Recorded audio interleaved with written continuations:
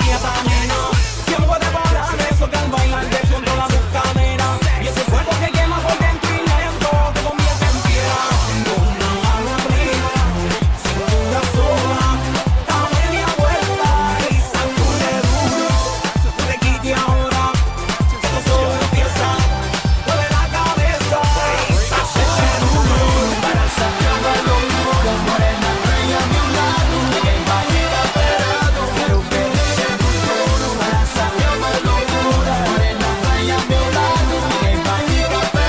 right play.